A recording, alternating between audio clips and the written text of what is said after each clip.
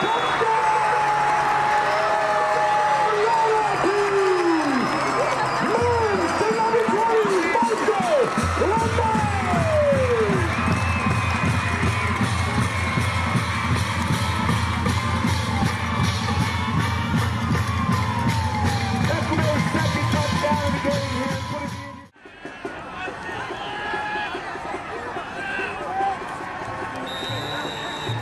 We'll start the fourth on the north end of the field. Shawnee will be third and goal from the one.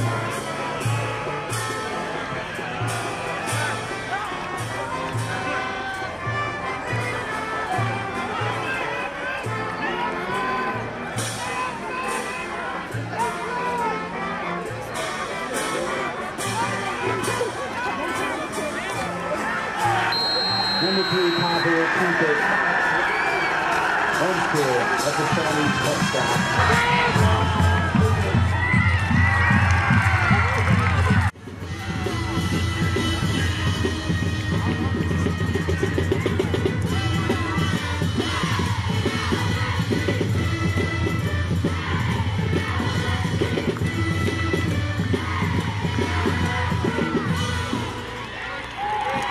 Measles up!